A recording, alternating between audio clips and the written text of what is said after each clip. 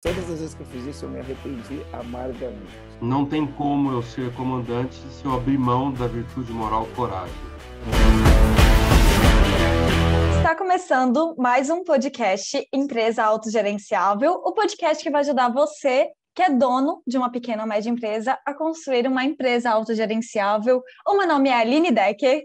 Olá, eu sou o João Cordeiro. E eu sou Marcelo Germano.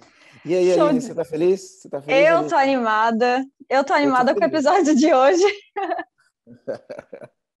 Bom, como vocês ouviram, a gente tem um convidado bem especial, que para nós aqui do EAG é um convidado que a gente já convive desde 2019, sem ele saber, mas desde 2019 o, o João Cordeiro já vive aqui dentro da cultura do EAG de uma maneira bem forte. Começou com o Marcelo trazendo o livro, e aí depois virou um, o nosso, a gente fez com o Buca desse livro e depois virou cultura dentro da integração. Então, assim, aconteceram várias coisas que a gente vai contar ao longo do podcast. Mas eu gostaria, vou passar aqui a palavra para o Marcelo, para o Marcelo receber é, aqui o João Cordeiro. Vai lá. Eu queria falar para os comandantes, né, que é a pessoa que a gente está recebendo hoje aqui, o João Cordeiro. A gente, toda semana praticamente, a gente recomenda né, a leitura do livro. Esse livro faz parte do processo de integração do, do EAG, os dois livros, né, o Desculpability e o Accountability. E para a gente ele é uma mudança de chave quando a gente pensa em criar uma cultura, uma cultura poderosa. Um dos pilares do nosso método, dos fundamentos do nosso método é a cultura. Eu vou falar, você quer mexer na cultura da sua empresa, você tem que implementar uma cultura de accountability. E aí nada melhor para falar sobre isso do maior expert disso, né, de accountability do Brasil e do mundo, que é o João Cordeiro. A gente é muito fã do trabalho dele. João, se apresenta para os comandantes que estão ouvindo aqui e, enfim, nós estamos muito felizes, a Aline está feliz, eu estou feliz. Uma honra fazer esse podcast. Se apresenta para os comandantes aqui e aí a gente vai falar um pouquinho sobre senso de dono, sobre accountability e outros temas mais. É, é, um, é um prazer, Marcelo, Aline, é um prazer estar aqui com vocês. Eu agradeço muito essa oportunidade de, de poder trocar uma ideia com vocês sobre esse, esse, esse conceito, que na realidade é uma virtude moral. eu prefiro hum, me apresentar assim, não a parte técnica né, do meu currículo e do que eu, da minha vida profissional, mas simplesmente como uma metáfora, né? Eu, eu gostaria que vocês me vissem como um, um chefe de cozinha que monta pratos e leva a um buffet. Nesse tempo que vai durar esse podcast, você se sinta como se você tivesse num buffet. Quando a gente vai no buffet, a gente se serve do quê?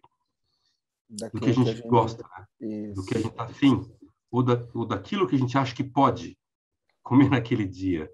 Né? E é exatamente isso. Sinto a vontade a pegar um conceito ou a não pegar um outro conceito, porque nós estamos falando de uma virtude é, universal e que ela tem uma riqueza muito grande de dimensões. Eu, eu na verdade, não me sinto expert no assunto, eu, eu me sinto como apenas o mensageiro. E a mensagem é muito mais importante que o mensageiro. É assim, mais um mensageiro, tem vários, né? O, o próprio Germano é um mensageiro, a Aline é uma mensageira, cada um no, no seu cenário. Eu tive o privilégio de, de escrever sobre esse tema. É só isso. Não me sinto melhor do que ninguém. Que legal. Obrigado, João. Obrigado. E, e essa mensagem realmente ela é, ela é muito poderosa, né? E para os comandantes que estão assistindo, né? Hoje, João, uh, você você trabalha fazendo consultoria para grandes empresas, mas eu, em algum momento você começou a trabalhar com donos de pequenas e médias empresas, né? No início da sua carreira trabalhando com sócios, às vezes os sócios eram amigos, às vezes os sócios eram casais, família. Imagino que você enfrentou todo tipo de, de situação trabalhando com esses, com esses sócios, né? Sempre, é verdade. Um, gente, a gente, como é que como é que o dentista começa a trabalhar, né? Quem é o, quem é o primeiro cliente de um dentista? Já se perguntou isso? É um parente, né? É sempre um, um, um primo, irmão, a mãe, dificilmente o cunhado, mas é, é, sempre um parente que empresta a boca para fazer os primeiros trabalhos. É, com consultoria é quase assim. Eu é, me formei na faculdade e montei minha empresa. Eu não tive nenhuma experiência corporativa, nenhuma experiência em carreira executiva. As pessoas falavam, João, mas ninguém vai te contratar. É, você primeiro precisa fazer um estágio, ser um trainee treino não existia naquela época. mas é só para né, contextualizar. Você precisa primeiro fazer um estágio e ter sua experiência. Aí, assim, eu pensei um pouquinho, eu quero saber de uma coisa, eu mesmo vou dar minha própria experiência para mim mesmo, porque aprender a fazer proposta, aprender a dar preço, aprender a negociar, isso eu não aprendi em estágio nenhum né, na minha área, a não ser que eu fosse estagiário numa empresa de consultoria. Fora isso, e trabalhasse na área comercial. Fora isso, então eu fui, meti a cara e meus primeiros clientes eram realmente exatamente isso, amigos, parentes, família, irmãos. É, o meu primeiro cliente tudo foi um restaurante com três sócios, que existe até hoje em Campinas, chamado Filé e Companhia. São meus amigos até hoje. Que legal. Aí é a metáfora. É, é, daí a metáfora do, do garçom. Né? É. E, e, e, uma das coisas que a gente vê os donos de empresa é, falando bastante é uma, uma questão muito sensível para os donos de empresas, né? Essas relações entre sócios, né? Uh, eu já vi muitas vezes, eu já tive a oportunidade de intermediar famílias, né? Pai e mãe, é, mãe e filho, mãe e filha, em conversas, né? Hum. Incrível isso, né? Em conversas. E às vezes a situação está super é, desconfortável, as, as coisas não estão indo bem. E quando a gente tem só a oportunidade de colocar um na frente do outro e dar espaço para eles falarem, acontece alguma coisa assim que as pessoas depois olham para mim e falam, Marcelo, obrigado pelo que você fez. E eu fico olhando e falo, mas eu não fiz nada, né? Eu só coloquei as pessoas uma na é. frente da outra, olhando e conversando. Né? Olhando e, e conversando. E aí, às vezes tem... Pode, pode falar, pode falar. Desculpa, eu, se eu tenho, te interrompi, não. Eu só ia completar que eh, existe esse mito no mercado que empresa de pai e filho é, não vai muito longe, né? É, são empresas familiares. Ah, ou então eu escuto muito, ah, nós éramos uma empresa familiar, mas agora profissionalizamos, o que, o que eu acho um grande equívoco, né? Porque tudo que a família construiu até aquele momento quer dizer que era o quê? Eram incompetentes, né? Por que esse termo hum, agora nós profissionalizamos? Né? Mas é, a gente entende. O que eu ia dizer é só uma observação. Cerca de 72 a 74% do produto gerado no mundo são produzidos por family business. A gente não tem noção a força do, do que é uma empresa tocada por um pai, uma mãe e um, um filho. Walmart é, é uma, é uma empresa familiar. Novartis é um dos maiores laboratórios do mundo e é uma empresa familiar. Existem empresas familiares que estão eh, atuando há 750 anos. Você faz ideia do que é isso? 750 anos de pai para filho, de pai para filho, são mais de 20 gerações. É uma pousada no Japão. Então, antes das pessoas é, terem qualquer conceito sobre uma empresa familiar, é, é importante entender a, a, o peso delas no mundo. Toda vez que, você vê uma Porsche passando, uma Audi passando, qualquer, é uma, uma Ducati passando, uma Lamborghini passando, que são marcas do grupo Volkswagen, que o grupo Volkswagen é uma empresa familiar. O que, que é o conceito de uma empresa familiar? Pelo Credit Suisse, basta 25% do capital ainda estar tá com a família. Já é o suficiente para ela interferir em crenças, em valores do negócio. Pela Fortune, é 30%. Então, aí você faz as contas e vê o que tem de family business no mundo. Desculpa te interromper, era só para... Legal, era um dado que... Um, As pessoas valorizam quanto que é importante pai, mãe e irmão trabalhando juntos. Que legal, né? E, e a gente vê, né? Eu, eu, gosto de falar o seguinte, a, a empresa, ela deveria, né, ou deve, né, ou ter a função de servir a família. E muitas vezes, né, quando a gente tem esses sócios aí, acaba acontecendo o contrário, né?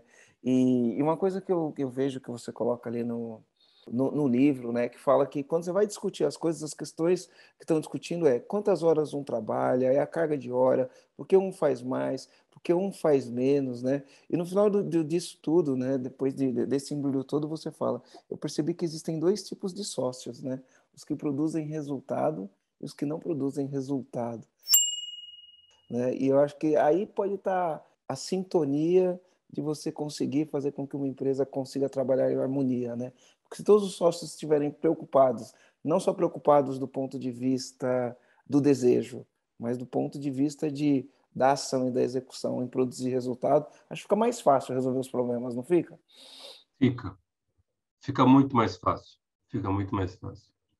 E, e só para também a gente saber uh, o quanto que uh, é importante a empresa familiar e o quanto que o Brasil é protagonista nisso, essa informação poucas pessoas sabem. O primeiro livro no mundo que saiu sobre gestão de empresa familiar é, foi um livro brasileiro, é, lançado pelo Renato Beyhoff em 1995. Se não me engano, o título acho que era Manual de Sobrevivência de Herdeiros. Um livro muito simples, muito interessante, está na, sei lá, enésima edição, está vendo até hoje. Vou, vou, vou, colocar na minha lista aqui esse aí.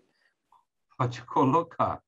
É, o Renato Benhoff, ele é ainda vivo, eu falo ainda vivo porque houve um outro consultor que veio quase junto com ele, chamado João Bosco Lodge, também de empresa familiar, já falecido, mas o Renato é vivo e hoje ele atua apenas com clientes no, é, no exterior. Ele pegou esse foco, ele é pouco conhecido pela gestão, pela, pelas pessoas mais jovens, mas os mais antigos sabe que o quanto que ele fez para contribuir para a gestão de empresa familiar no Brasil. Ah, que legal. legal. Que bacana. E, e, e a, só para a gente com, completar esse assunto, a, os, os, problemas de uma padaria, que é pai e filho tocando, e os problemas da Novartis ou da Walmart, em termos de gestão familiar, são exatamente o mesmo assim, você pode ter certeza que são os mesmos. Assim, se o filho tira férias ou se não tira férias, se usa a casa da praia ou se não usa. Só que o, o tamanho do cifrão que tem por trás é diferente, né? É se usa o barco ou se não usa o barco, se usa o helicóptero ou não usa. Mas olha que curioso, ô, ô Marcelo. A, os, apesar dos problemas serem os mesmos, se você colocar um dono de padaria, se colocar o, a família Votarantim, eles vão te falar você vai falar, cara, o mesmo problema. A forma de resolver é que é diferente. Porque hum. cada família tem uma dinâmica diferente da outra. Tu diz em escala? Ou você diz, tipo, cada família mesmo vai encontrar uma forma diferente de resolver? Cada família mesmo vai escolher uma resolver. Tem umas que vão colocar como protocolo, né? porque assim, a diferença de uma empresa, bem, família, empresa familiar bem sucedida e outra não, são os protocolos familiares. Né? Uma vai colocar como protocolo familiares é, cunhados e genros não pode trabalhar. A outra vai, vai, colocar assim: se o cara for bom, eu prefiro uh, um, um, genro do que o meu filho, por incrível que pareça. Tem um, um, grande restaurante, uma rede grande de restaurante aqui em São Paulo, que é o Grupo Haskell, que é dono da marca Cortez, Haskell, Pio e outra hamburgueria que eles compraram, cujo CEO atual que é o Rodrigo Testa, ele é filho do sócio minoritário. Sócio minoritário tem 10%. Uhum. Sócio Ângelo Testa. O sócio majoritário é a família Bielaski, Bielaski tem 90%. E tem herdeiros, tem quatro filhos. Mas o fundador, Roberto Bielaski, falou assim, não, eu prefiro o teu filho tocar o, o nosso negócio. Então, eu, eu acho que isso diria... Ele é melhor, ele é melhor do que meus filhos, com todo carinho e respeito aos filhos, né? É, que legal. Só para você entender assim, quando uma empresa cria protocolos que coloquem em primeiro lugar a, a pessoa jurídica e não a família em primeiro lugar, que primeiro tem que ter a empresa. A empresa arrumada não falta dinheiro para a família. A família se coloca em primeiro lugar, vai faltar dinheiro, aí a família se, se desentende. Se coloca os protocolos em primeiro lugar, a família, a empresa, o resto funciona muito bem. Que legal. Olha só, João, você falou e eu fiquei pensando uma coisa interessante. A gente tem vários tipos de clientes em sociedades e eu já vi todos os tipos de confusões acontecendo. Mas uma das confusões mais comuns é, né, é, uma pessoa está querendo ir para um lado, colocando a empresa em primeiro lugar, e a outra pessoa está colocando as necessidades pessoais em primeiro lugar, né? E até fala, pô, então de que adianta ser dono se eu não posso fazer o que eu quero? Né? Esse, esse discurso vem exatamente assim, né? Então, isso que você está fazendo é de que, que adianta ser dono se eu não posso fazer o que eu quero, porque eu vou ter que me submeter às ordens, né? E aí, Mano, a frase está incompleta, né? A, a frase está linda, não estou falando que é a sua, a sua, frase, a frase de quem te falou sim, isso. De quem fala Ela está incompleta porque o cara parou no meio do caminho. É. Assim, a empresa é minha, eu posso fazer o que eu quero, mas eu não devo. É só essa. A questão não é querer. É questão do que eu devo. É que, é fazer é ou não. Isso, né? o que está nas minhas atribuições, fazer ou não. E aí a gente entra para aquele assunto que a gente tinha falado na prévia, que era senso de dono. Né? Às vezes a pessoa acha que senso de dono é, ah, eu sou dono, né? eu faço o que eu quero, isso é senso de dono. Né? Vamos né, pensando como se fosse uma, uma cebola onde a gente vai tirando as camadas, né? E, e, a essência do livro do Desculpa Brit, quando fala de senso de dono, ele pega bem profundo nisso, né? Mas a, gente tem várias camadas quando a gente fala nisso, né? Como que o senso de dono afeta hoje no resultado das empresas, no resultado do país, no resultado do país. Eu acho que o senso de dono hoje afeta no resultado do, do país, afeta no resultado das famílias de uma maneira geral ou não, né? É como que é essa questão do senso de dono, para a gente desmistificar o que é senso de dono? Porque muitas empresas colocam nos valores, vai lá, põe carta de valor e põe senso de dono. Né? Como eu desmistifico o senso de dono? Né? Às vezes a gente chega para uma pessoa e fala assim, oh, cuida disso como se fosse teu, né? como se você fosse o dono disso. Né? Mas eh, não é claro para as pessoas né? o, esse, esse termo. Né? Como que a gente descasca essa cebola aí? É, assim, Primeiro, vou fazer uma observaçãozinha aqui. Notando o seguinte, vocês vão me notar, vocês vão me perceber pelo meu tom de voz, é, que, eu, que eu falo de uma maneira, assim, muito, às vezes, impulsiva ou muito assertiva, mas não é porque eu sou dono da verdade. Não é isso, não. É porque é, eu sou apaixonado pelo assunto. É só isso. Emocionada que você usou a palavra assertivo no, no, do jeito certo. Eu hum. emocionada. Porque, porque, assim, quando a gente é, é apaixonado por, por, um assunto, a gente se empolga na hora da fala. É só isso. Então, vocês não me estranhem, por favor, uh, se eu estou usando um tom um pouco mais assertivo, né? Mas a questão do senso do dono, ela é errada a maneira que a gente coloca, no meu modo de ver. Então, assim, pensamento de dono, dor de dono, senso de dono, eu acho que está faltando um conceito atrás que é dono moral. Por que, que é importante isso? Porque, ora, assim, um cara foi lá no cartaz da empresa dele, pensar e agir como dono, mas eu, ele deu sociedade para as pessoas? Todo mundo vai poder ser sócio da empresa? Hum, a maioria dos casos, não. Então, é difícil a pessoa entender. Na verdade, ela teria que entender o seguinte: sou dono moral. O que dizer como dono moral? Um dono moral, ele se preocupa com a consequência das suas decisões para com os outros. Eu não preciso ser dono proprietário de algo para ter a preocupação com os outros. Né? É a diferença entre uma mãe biológica e uma mãe adotiva. Eu conheço mães adotivas muito mais apaixonadas pelos seus filhos do que algumas mães biológicas que a gente lê notícia por aí que foram responsáveis pelo sofrimento dos seus filhos. Ontem teve uma notícia de uma mãe que espancou uma menina de 11 anos de idade e a menina veio a falecer, mãe biológica, né? É, como a gente sabe de casos onde a mãe também biológica é conivente quando o companheiro ou o namorado espanca seus filhos, né? E eu conheci o caso de uma mãe adotiva, a Maria José Majô, para os amigos, é RH numa grande distribuidora de bebidas na, na Guatemala. E a Majo uh, não podia ter filho, entrou para adoção. A adoção dela demorou dois anos e eu garanto para você, gente, foi a gestação mais longa que eu já tive noção. Porque esses 24 meses, pouco mais, quase 26 meses, essa mulher sofria todas a semana esperando o telefonema da empresa de adoção, da agência, do instituto. E quando ela recebeu um, ela largou tudo que ela tinha que fazer e foi comprar berço, porque ela não sabia até então se era menino ou menina. Ela falou, ela, João, eu comprei o que tinha na vitrine, eu comprei o mostruário, porque se eu fosse esperar chegar, uh, eu ia pegar meu filho naquele mesmo dia, eu comprei o que tinha. E ela contou isso para mim, o filho dela já tinha seis anos de idade. E ela contou chorando. Então eu aprendi que você não necessariamente precisa ser dono para cuidar daquilo como se fosse seu.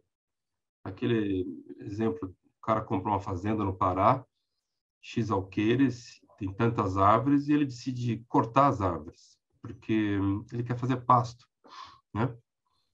E as árvores são dele, ele pode fazer o que ele quiser. Esse é um pensamento de um dono proprietário, que é um pensamento limitante. Para não dizer assim, medíocre. O que seria um pensamento amadurecido, adulto, evoluído? Ele pensar o seguinte: mas essa árvore pertence a quem? Pássaros, animais. Eu vou precisar cortar quantas? E se eu cortar, quantas eu posso plantar? E o que, que eu estou cortando?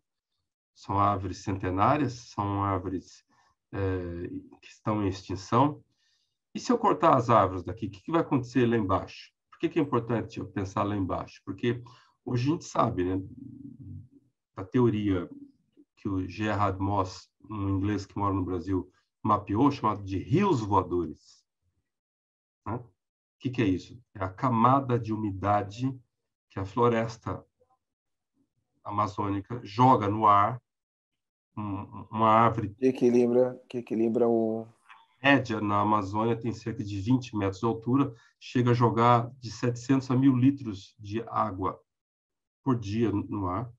Essa umidade é empurrada pelo vento que vem para o Atlântico, empurrada em direção ao Pacífico, mas ela não chega ao Pacífico porque tem o que no meio do caminho?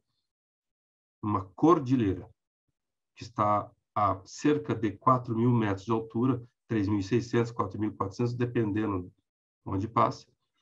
Esse vento está passando a 1.200 a 2.000 metros de altura. Ela bate numa parede, não tem para onde ir, faz a curva Passa por onde? Mato Grosso e São Paulo. Essa região é a única região no planeta abaixo do Equador que não é desértica. Por causa da árvore, das árvores no Pará e na Amazônia. Então, o indivíduo que pensa como dono, proprietário, ele corta o que ele quiser, taca fogo no que ele quiser. Mas se ele pensar com uma consciência moral, talvez ele encontraria uma maneira mais sustentável dele ter de volta o dinheiro que ele investiu sem prejudicar. Então, para mim, a diferença de dono moral e dono proprietário seria mais ou menos isso. Que Sabe que ficou, ficou. Eu vou contar uma história aqui, né? Eu, eu tenho uma casa ali no Jurerê Internacional e eu comprei a casa do lado da minha. Né? E do lado uhum. da minha tem uma árvore ali, eu vou falar, ó, aquela árvore ali deve ser centenária. Fala sério, né, Aline? É uma árvore grande, grande, grande, umas Olha, raízes gigantescas. Eu agradeço a tanto a Ana. aí eu comprei a casa do lado, aí minha namorada chegou lá, eu falei assim para ela, ó, oh, vou derrubar essa casa aqui, vou derrubar essa árvore, vou fazer isso, vou fazer aquilo. Ela parou. Vou derrubar tudo. ela, ela pegou e falou assim: a árvore você vai derrubar? Ela falou, falei, vou, porque eu quero fazer isso. E só falou, meu, você de, derrubar essa árvore, acabou o namoro. Não, não se derruba uma árvore. Eu não pude fazer isso com o Marcelo. Eu não pude fazer isso com o Marcelo. Ela teve, ela teve um álibi melhor que o meu, ainda bem. E aí, de, depois você começa... Como é que ela chama? Ana, Ana. Ana, Ana está de parabéns. Parabéns, Ana. Um grande respeito e orgulho, porque um dos uma das dos componentes de, da, da accountability é a coragem. Coragem para se colocar, coragem para se para confrontar. E ela teve isso. Isso. E agora a árvore vai fazer parte do projeto e a casa vai ficar linda com aquela árvore. E, enfim, as crianças Vamos, vão curtir as árvores, os cachorrinhos vão curtir a árvore, vão, vão, vão curtir a árvore. Mas, enfim, isso me, me, me traz para dentro de um, de uma preocupação, né? Desse lance do, do, que a gente falou, né? Do senso de dono, né? Todo mundo é responsável pela, por tudo, né? A gente, quando a gente vê o Brasil do jeito que, que é, Às vezes acha que a responsabilidade é só dos outros, né? A gente esquece da nossa responsabilidade, do nosso senso do dono, né, de cada um, de cada brasileiro, para poder fazer acontecer. E quando chega nas empresas, então, isso é, é, às, vezes é catastrófico. Às vezes, quando tem accountability é lindo, quando não tem é catastrófico. Pode falar, Aline. É o que eu ia entrar, porque a gente falou da árvore, a gente falou da Amazônia, a gente falou do que está abaixo ali, da todo esse impacto. E quando a gente olha para uma ótica é, para dentro da empresa mesmo, assim, trazendo tudo isso, porque tem um impacto bem grande. E é por isso que a gente fala hoje, você tem uma empresa de consultoria, e é até engraçado, enquanto você estava falando, eu estou aqui numa sala. Quem está aqui no YouTube vai conseguir ver, eu estou aqui dentro de uma salinha. Aqui do meu lado, mais para cá, tá o Garu, que está gravando aqui esse podcast. Ele algumas vezes ele levantou, veio até aqui no meu campo de visão e olhou para mim e falou assim: quando eu tô olhando para o lado e concordando alguma coisa, era ele falando comigo assim: eu tô chorando, ele falando assim para mim. Então, realmente, a gente está falando de algo muito, muito impactante mesmo. E eu sei o quanto isso tem um impacto muito forte nas empresas mesmo. Que um reflexo disso é ele vir aqui do meu lado agora e falar que ele estava emocionado com isso que a gente está fazendo. E como uhum. que isso reflete quando a gente traz essa accountability, esse senso de dono moral para dentro das empresas? Como que você compararia dentro de uma empresa. Eu acredito que o dono mesmo seria essa pessoa que é o proprietário, né, que você já falou. E como seria uma pessoa que tem um senso de dono moral dentro de uma empresa? Como que ela se comporta? Como que é isso? Como que isso se aplica? Uh, Aline, aí a gente precisa, assim, não é que eu quero alongar a resposta, por favor, não é isso não. É, mas a gente tem que dar uma voltada, assim, rápida em conceito de virtudes morais. Boa, e, pode. E Aristóteles, que foi ele que foi o primeiro Opa. a falar sobre virtudes morais, né? Fica à vontade. É, eu vou chamar aqui uma, uma lista né, de virtudes morais, só para a gente ter certeza que todos estão acompanhando. Nós estamos falando daquelas básicas relacionadas ao ser humano conviver bem na sociedade, na família e no trabalho. Elas estão, assim, em ordem de uh, alfabética, não estão em ordem de importância. É colaboração, compaixão, complacência, coragem, diversidade. Parentes, Aristóteles não falava de diversidade na época, não, não, não, esse conceito não estava claro, mas isso foi acrescentado recentemente. Equilíbrio, esperança, franqueza, generosidade, gentileza, gratidão, honestidade, honra, humor, integridade, interesse genuíno, lealdade, paciência, persistência, prudência e respeito. Veja só, ele dizia que as virtudes morais, o ser humano não nascia com elas. Aliás, ele foi quase preso quando ele falou isso, né? As famílias ricas chamaram ele e falou assim: "Você está falando o quê? Você está falando que meu filho é ladrão?" Ele falou: não, é, seu filho não é e não, talvez não seja ladrão, porque vocês ensinaram a ele o valor, honestidade. Ele, ele acreditava assim, então essa frase, ser humano não nasce virtuoso, é dele. Ele achava que a, as virtudes deviam ser apresentadas à criança e se a criança quisesse, ela captava para ela, incorporava, se ela não quisesse, não, não, não, não captava. Eu vou chegar na história lá de pensamento dono moral na empresa. Mas, ao mesmo tempo, ele dizia o seguinte, que todas essas virtudes deviam ser praticadas com bom senso, com equilíbrio, né? Porque se você praticar em extremos, seja lá para um lado para o outro, você vai correr o risco de é, sair de um padrão de convívio. Por exemplo, vamos pegar coragem. O indivíduo, num extremo, com ausência de coragem, ele se torna covarde diante dos desafios da vida. Quais desafios da vida? Perdeu o emprego, a empresa faliu, perdeu um parente. Desafios da vida. Né? Ele precisa ter um, um estofo, uma coragem. Né? Por isso que é vir, vir, virtudes vem de virtus, que é coragem para fazer o bem aos outros. Mas se para um outro extremo, Aline, ele for muito, muito, muito corajoso, qual o problema? O problema é que ele se torna imprudente. Ele vai fazer selfie na beira de penhasco, ele vai fazer selfie do lado de um urso, de uma cascavel, E aí tem esses casos que a gente já viu aí, são quase 300 no mundo, pessoas que morreram para postar alguma coisa, né? Vamos pegar um outro valor, humor, outra virtude, humor. O que, que acontece se o indivíduo for num extremo totalmente sem humor?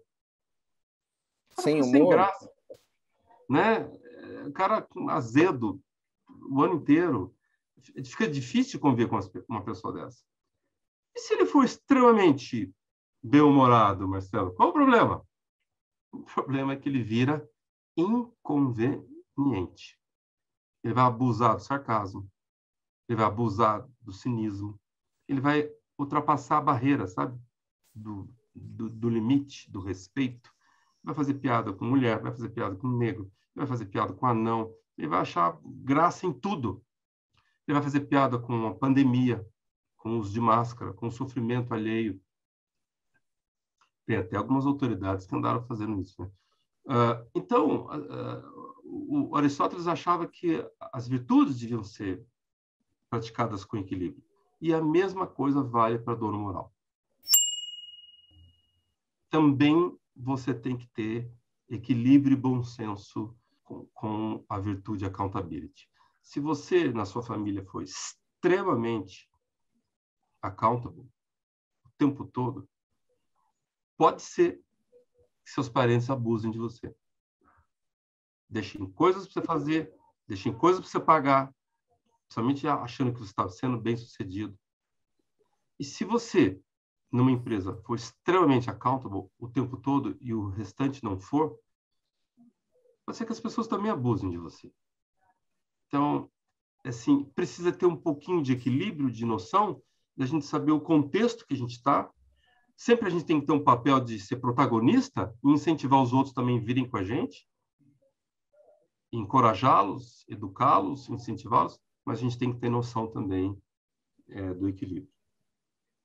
Eu ia perguntar para você porque você usou o termo bom senso. E eu tendo a acreditar que o bom senso, no final das contas, ele é igual a nariz. Cada um vai ter a sua, o seu nariz, digamos assim, com bom senso. Uhum. Existe uma régua existe algo mais tangível para palpar mesmo essa questão do que, que é o bom senso, como que uma pessoa eh, tem uma régua do que, que é o bom senso, enfim, é possível transcrever isso de alguma maneira? Eu, eu ah, talvez assim, é, então vamos evitar, em vez de bom senso, vamos usar equilíbrio, ponderação, porque aí fica melhor assim a gente pesar aonde a gente vai, né? Tá, é, legal. Quer que eu comente isso? Ou Pode. Paro? Pode? Ah, teve um camarada que um dia me contou uma história de pinta de rosa. Pintar de rosa, né? E ele usava isso como uma metáfora, dizendo o seguinte, ó, João, eu sou funcionário aqui na minha empresa, o patrão chega e fala para eu pintar aquela parede de rosa. Eu acho que vai ficar horrível. Eu acho que uh, verde ficaria muito melhor. Eu devo obedecer ou devo é, devo obedecer sabendo que vai ficar ruim? péssimo ou eu devo é, contradizer? E aí entra a história da ponderação e o equilíbrio. Eu falei, entre um e o outro, o que, que tem no meio do caminho? Ah, no meio do caminho tem eu dizer para ele o que eu acho. Eu falei, não, eu acho que isso não é no meio do caminho, não. Isso é você querer é, dar a sua opinião para ele. Pensa bem, o que, que tem exatamente no meio do caminho? Ele pensou, pensou, veio com mais duas alternativas. Eu falei, não, também não tá bom, não. Ah, trabalha melhor. Até que ele veio assim, e se eu pintar uma faixa de rosa e a outra de verde eu deixar ele escolher? Falei, boa, é isso. Porque ponderação, Aline, é você, assim, tentar equilibrar na medida do possível, mesmo que o outro não, talvez não, não concorde muito com, a, com aquela cor que você escolheu, mas se oferecer a ele esses dois caminhos. Vamos traduzir, sair da metáfora e para o mundo da prática. O meu primeiro cliente foi uh, esse restaurante lá em Campinas, mas depois de um tempo a gente foi pegando outros clientes e eu tive a felicidade de, em São Paulo, ser contratado por um grupo de bar. O grupo de bar hoje chama CATC, as marcas são muito conhecidas, é o Original, Pirajá, Lanchonete da Cidade, Pizzaria Brás, é um grupo, hoje deve estar com cerca de, sei lá, 1.500 funcionários, cresceu muito. E no Pirajá, quando a gente começou o trabalho lá atrás, a gente treinou a equipe, né? Treinou os garçons, a gente treinou a como vender chopp. E olha que interessante. A gente entendeu que o chopp tinha que ter o colarinho. Hoje chama creme. Uh, e que o chopp com colarinho ele fica mais fresco, porque o colarinho conserva a temperatura. Mas naquela época, eu estou falando em 1995, as pessoas não, não sabiam disso e queriam sem colarinho, porque elas estariam comprando, tecnicamente, mais chopp. Eu então, pedi muito chopp sem colarinho. Vai, vai de novo, pinta de rosa ou pinta de... E aí os garçons falavam, mas João, você não está entendendo, os clientes não vão comprar chopp com colarinho. Eu falei, então ofereça os dois. Você fala o seguinte, eu vou te trazer um copo do jeito que você pediu, sem colarinho, e vou te trazer um segundo copo por conta da casa, com o colarinho. Você toma e vê a diferença. Sabe o que aconteceu, Marcelo? As pessoas começaram a pedir chopp com colarinho. A venda de chopp cresceu 20, 30, 40. Quando chegou em 60%, a Ambev ligou lá e falou: o que está acontecendo aí? Que vocês estão vendendo mais chopp sem aumentar os pontos de venda? Ela falou: a gente deu aqui um treinamento, um processo. Ah, é? Quem fez? João. Então eu fui chamado numa reunião, nunca me esqueço, dia 27 de dezembro. Quem é que marca uma reunião no dia 27 de dezembro? Ambev marca, tá? O dono da cervejaria quer lá mais cerveja no, no, Natal, no Réveillon. No Réveillon. E eu cheguei, era um diretor português chamado Miguel Patrício, hoje ele está como VP lá em Nova York, no grupo. Ele falou, como é que você fez esse trabalho? Falei, ah, a gente treinou os garçons, treinamos isso, né? a tulipa, né? o copo tem que estar bem lavado, o chopp, o barril não pode ficar no sol, o garçom não pode, desculpa, dar uma bica no barril e vir rolando, que nem era uma prática na época em vários bares, né? Não lá, mas enfim, uh, o chopp tem que ser cuidado com carinho, porque a diferença do chopp e uma cerveja, né? Você sabe, além da garrafa é o gás de pasteurização, né? Porque a cerveja é pasteurizada, por isso que ela dura meses e o chopp dura semanas, né? Aí ele falou: Ah, legal, ótimo. Você tem equipe? Eu, uhum. Não tinha, né? Certo? Ele falou, ele pegou um mapa, abriu aqui. Eu tenho aqui alguns pontos no Brasil. Você pode nos ajudar? Eu falei, claro. Quantos são? Ele falou 5.500. E eu fiquei, uhum. Tem como você me trazer um projeto? Eu falei, claro. Daqui a 15 dias. Ele falou, 15 não, 10. Eu estou indo viajar. Eu falei, lógico. E eu praticamente não dormi, né, nesses 10 dias tentando saber como é que eu ia atender 5.500 pontos no país. Mas eu tinha uma sócia, tem até hoje, que é a Débora, que minha esposa, que é uma gênia em projetos. Ela falou, nós vamos fazer isso, João. Vamos fazer assim, assim, assim. E eu levei lá e a gente fechou um contrato. E eu, por 17 anos, tive Ambev como meu cliente. E com eles eu fui para a América Latina inteira. Não só com chopp, mas com outras frentes. Isso porque por causa dessa ponderação aí. Não empurra o chopp com colarinho. Oferece, mas oferece outro também. Deixa o cliente escolher. Deixa ele decidir. Legal. Oh, incrível. Incrível, Top. incrível, incrível, incrível. Eu vou, vou mudar um pouquinho o rumo aqui. Pode, Aline, mudar um pouquinho? Nas empresas, nas empresas a gente tem os homers, né? Quem são os homers? Os Homer Simpsons nas empresas. Homer Simpsons. Um pouco essa, é, explica essa, essa metáfora aqui para quem está ouvindo a gente. O que, que o Homer Simpson eu tenho um aqui, faz? Eu tenho aqui um pertinho de mim. Para quem está é, vendo no YouTube, tem o Homer na mão do João. Para quem estiver ouvindo no, uh, Spotify ou nas mídias, só, só no áudio, imagina que tem um Homer Simpson na mão do jogo nesse exato momento. Homer Simpson, ele foi escrito por um escritor, né, chamado Matt, com dois T's, Groening. É a série mais longeva da televisão. Ela deve ter hoje mais de 40 anos. E ele foi escrito com uma intenção de criticar. É uma crítica, Homer Simpson, não é um desenho animado. Criticar, ridicularizar, ironizar aquele americano médio, que também tem brasileiro, né? aquele americano que se acha só porque ele tem uma casa, ele tem uma arma na casa dele, ele é casado e tem filho. Ele acha que ele chegou nisso, então ele tem o direito de fazer o que ele quer. Vocês nunca vão ver um episódio do Homer Simpson fazendo um trabalho doméstico, lavando prato, arrumando a cama ou limpando o banheiro. Ele é contra esse tipo de coisa. Assim também, você nunca vai ver ele comendo um, uma lagosta, um camarão. Não porque lagosta e camarão é legal. Ele fala que tudo que dá trabalho para comer não vale a pena. Você vai ver ele comendo donuts, hambúrguer e pizza. O personagem é muito bem escrito, gente. É, é são gênios. São gênios aqui.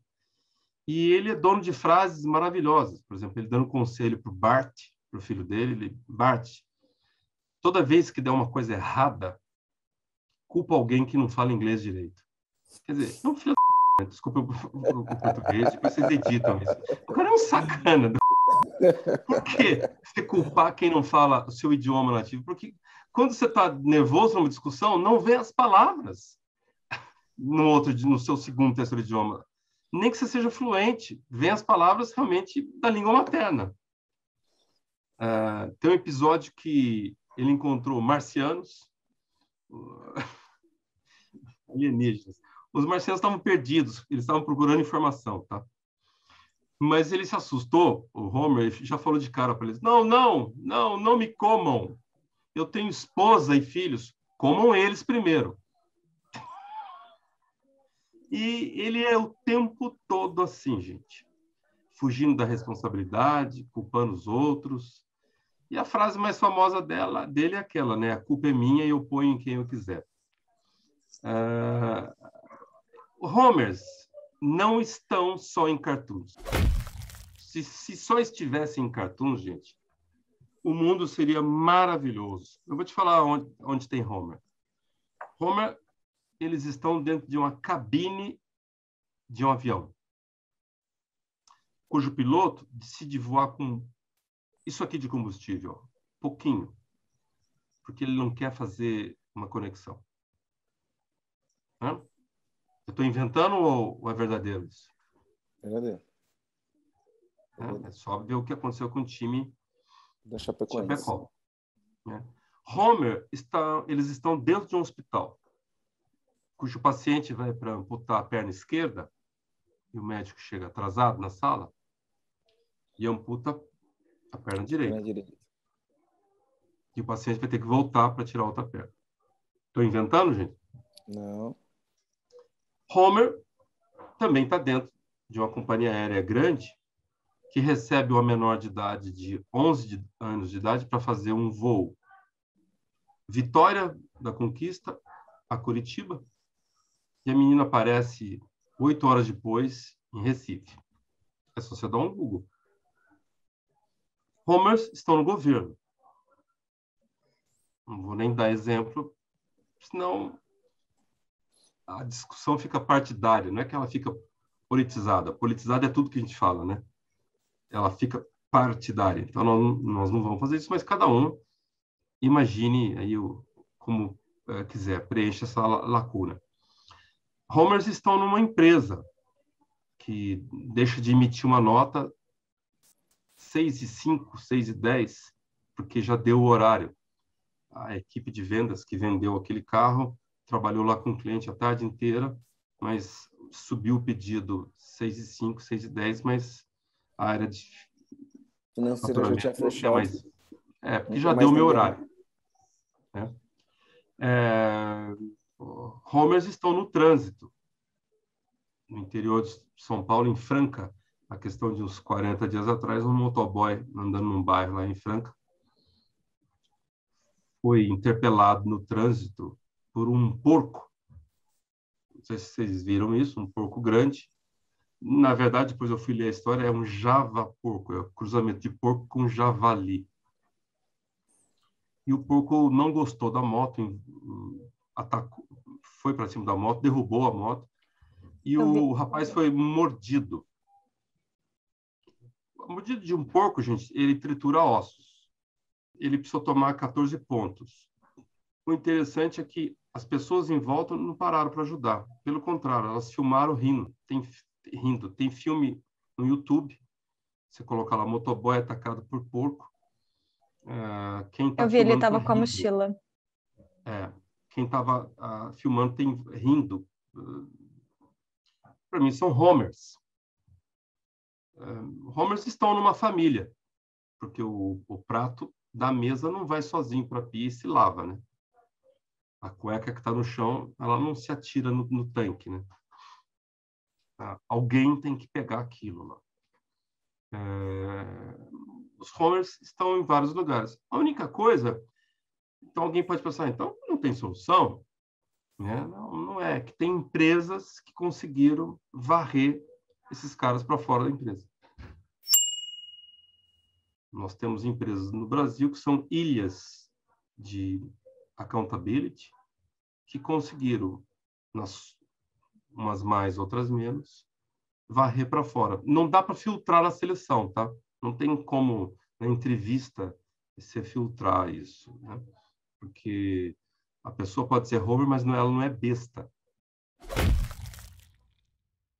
Aliás, são até inteligentes. Ela vai dar a resposta que você quer ouvir. Então, na entrevista não dá. Mas ele não fica com a máscara, com essa persona, muito tempo. Dado 15 dias, 20 dias, 45, ele tira a máscara e você vê quem é quem ali. Então, são empresas que varrem para fora. Tem países que também varrem para fora comportamentos desse tipo. Quando o próprio dono é o Homer? Pode ser. Pode ser porque, às vezes, ele está ganhando dinheiro, uh, Germano, uh, sem saber o porquê que ele está ganhando. Peter Drucker, né? Peter Drucker. É o tá guru da, da, administração, isso. Isso, ele está para administração, assim como Einstein está para física, o Freud está para psicanálise. Claro, né, guardadas as proporções. Ele tem uma frase que é assim: as razões do fracasso são mais fáceis de serem identificadas do que as razões do sucesso. Eu, você, Aline, montamos uma pizzaria ela não dá certo, a gente rapida, rapidamente sabe por que não deu certo. É o molho que não ficou bom, eu que não atendi as mesas direito, ou o ponto que era ruim. Ou o preço que era muito caro. Mas se der certo, a gente não sabe por quê. Não sabe. A gente supõe que é o molho, supõe que é a massa, supõe que é o preço, mas não tem certeza. Por isso que é muito comum o cara montar uma segunda e não ir bem. Que não está claro para ele as razões do sucesso. É, então, é possível Homer ser empresário bem-sucedido? É. É assim. É possível porque o Brasil oferece oportunidade da pessoa ganhar dinheiro uh, e às vezes a pessoa não sabe por que, que ele está ganhando dinheiro. Agora, a hora que chegar um competidor, ele apanha. A hora que o mercado globaliza, ele apanha. A hora que virar tecnologia na ponta, na mão dos clientes, ele já perde. E aí ele vai responsabilizar a pandemia, ele vai responsabilizar o governo e outras coisas, mas ele não vai olhar para dentro de si. Perfeito. Perfeito. Perfeito. João, eu mapeei aqui as principais desculpas que as pessoas dão, né? Então, uhum. é, você falando disso daí, daqui a pouco eu vou falar um pouquinho dessas desculpas. Deixa eu só falar um negócio que eu lembrei. Hoje de manhã, eu estava fazendo uhum. uma live e às vezes eu tô mais inspirado, né? Igual você falou, você é apaixonado pelo assunto, tem algumas coisas que inspiram a gente mais. Eu estava fazendo uma live de manhã hoje e eu estava falando sobre finanças na live, né? Então, eu estava falando sobre finanças na empresa e esse tipo de coisa. Aí, olha, olha, olha, olha o que a dona da empresa pergunta para mim, né? Ela pergunta assim para mim: como que eu faço para eu não roubar o caixa da minha empresa? Olha a pergunta dela. Porque eu pego o dinheiro da empresa porque eu preciso. Olha a pergunta dela, que ela fez para mim. Era uma pergunta uhum. mais ou menos assim, né? Aí eu olhei, peguei e falei: olha só, essa pergunta aqui eu vou dar resposta, mas eu vou dar real. Então, pode ser que as pessoas não gostem de, de ouvir o que eu vou falar aqui, mas eu vou dar real. E aí eu, eu, eu contextualizei. Então, eu contextualizei, eu tive aula uma vez com um cara chamado Randy Stefano e ele tava me, me, ele me ensinou um negócio, eu adoto isso para minha vida, tá? Ele me ensinou um negócio sobre dinheiro, né? Ele me ensinou o seguinte, ele falou que é, uma técnica simples para você poder gerar mais riqueza na sua vida e, e, não se endividar, né? Então ele falou assim, ó, tudo que você for comprar que valorize, tudo que você for comprar que valorize, você pode tomar crédito. Por exemplo, você vai comprar uma casa, essa casa tem uma tendência de valorização, tem. Então você pode tomar crédito. Tudo que você vai comprar que desvaloriza, você não pode tomar crédito. Então você não pode parcelar no cartão. Parcelou no cartão, você tomou crédito. Pagou em três vezes, você tomou crédito. Falou, tudo que você vai comprar que desvaloriza, e aqui eu não estou querendo dizer que isso é a expressão da verdade. Cada um é igual você falou, né? Se isso servir para alguns, pega. Se não servir para outros, pega. Só estou mostrando o que ele me ensinou e o que eu levo para minha vida. Ele falou, então, tudo que você vai comprar que desvaloriza, você só compra se você tiver dinheiro para comprar à vista. Então, por exemplo, você vai comprar um carro. O carro valoriza ou desvaloriza? O carro desvaloriza. desvaloriza. Então, se você for comprar um carro, você só pode comprar ele se você tiver dinheiro para comprar à vista. Aí o que, que acontece? Né? A pessoa fala, ah, mas se for desse jeito, eu nunca vou ter um carro. Ah, mas se isso, não sei o quê. Mas se isso, não sei o quê. E as pessoas começam a falar, porque eu mereço, porque eu trabalhei tanto, porque eu fiz não sei o quê, e não fez o quê. Ele falou, o raciocínio é muito simples. Ó. Se você tiver esse raciocínio na sua cabeça, é, vai sempre funcionar. O raciocínio é: eu não tenho dinheiro para comprar vista, então eu não fiz por merecer. Eu não fiz o que era preciso, eu não juntei o dinheiro que era preciso, eu não trabalhei o que era preciso. Então, por não ter feito o que é preciso para poder ter dinheiro para comprar vista, eu não posso comprar esse carro a prazo, né? Ah, mas eu preciso do carro. Você não fez por merecer. Independente de estar certo ou errado, né? Eu usei isso como contexto. Falei, olha só, você montou uma empresa faz três meses. Você precisa, você precisa Aí eu preciso, porque eu tenho que pagar o negócio. Aí você vai lá e você, do jeito que você disse, falou: eu roubo o dinheiro para minha empresa. E a sua desculpa é: eu preciso. Eu falei: se você realmente precisa, preserva a sua empresa, né? vai fazer Uber à noite, arruma um segundo trabalho para fazer à noite, um trabalho para fazer de final de semana para resolver os seus problemas.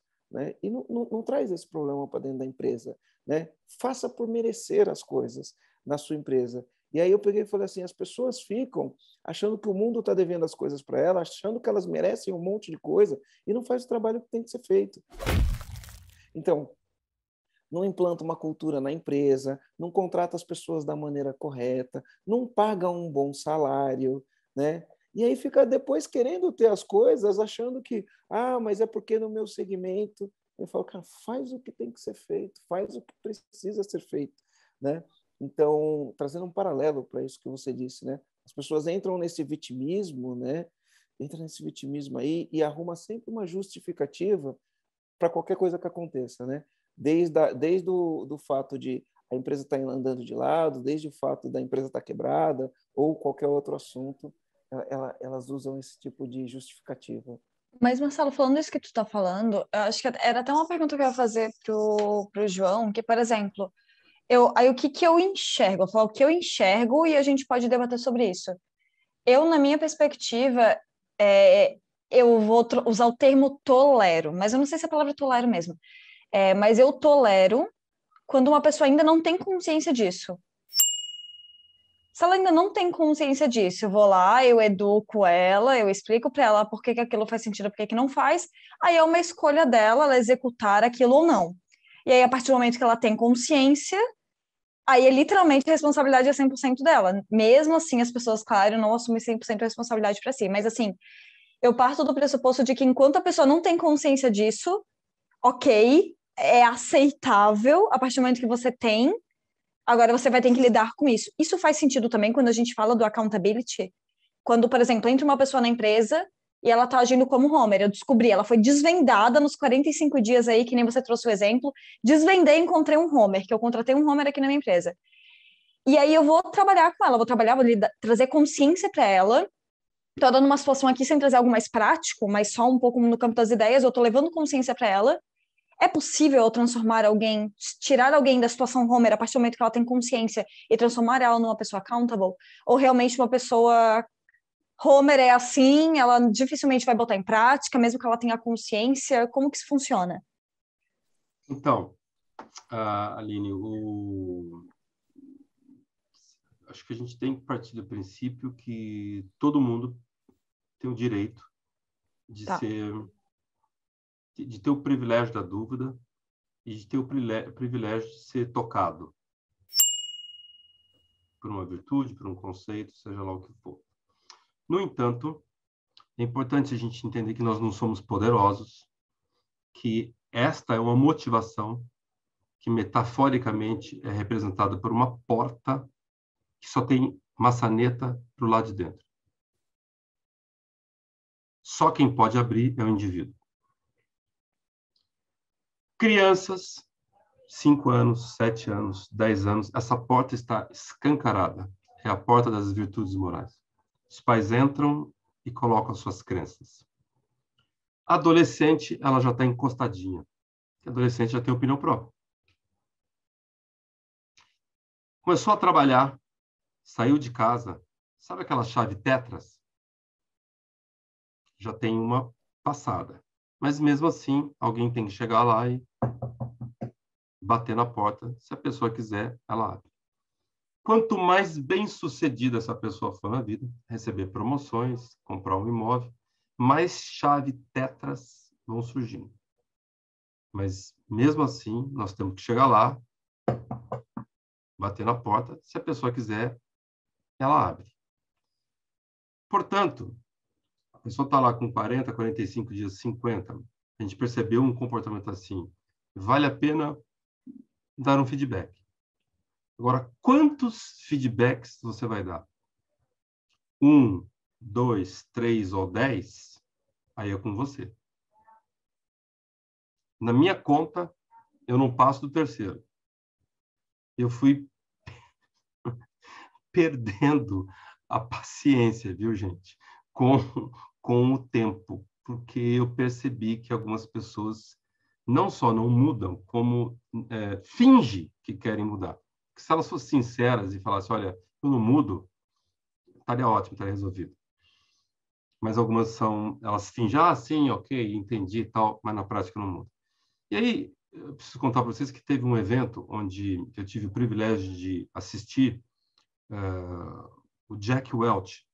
Jack Welch foi CEO da GE por 21 anos. Depois que ele saiu da GE, ela, a GE andou de lado e uh, deixou de estar listada entre as 500 maiores empresas na Fortune. Foi um, uma coisa muito ruim, mas o período de 21 anos da GE foi glorioso. E nesse evento que eu estava, um dos participantes perguntou assim, senhor Jack, qual foi o maior erro que o senhor cometeu ou que o senhor se arrepende?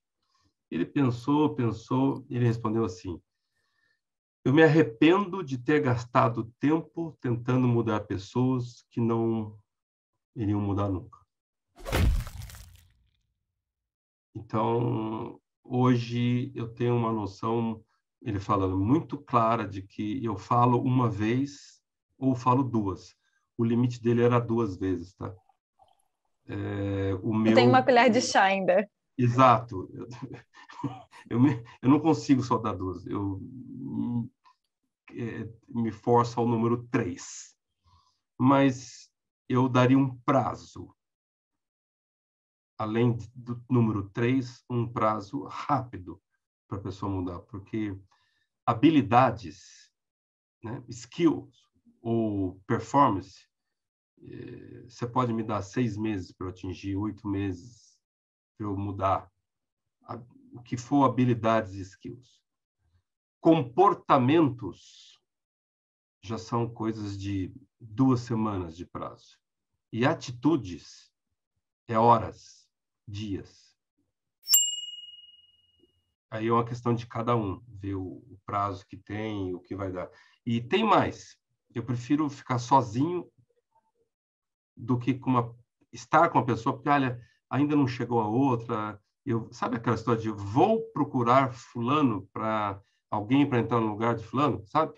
E aí Pô, vou dar um tempo arrasta. que agora não é hora, daqui a pouco eu faço. Vou falar, todas Exato. as vezes que eu fiz isso, eu me arrependi amargamente. Todas as vezes Exato. que eu não fiz na hora que Eu já tive é no melhor... meu coração que não ia dar certo. Eu falei, pera, tá ruim assim, mas vamos continuar assim, depois a gente mexe. Todas as vezes que eu fiz isso, eu me arrependi amargamente. Todas, sem A gente só posterga o problema.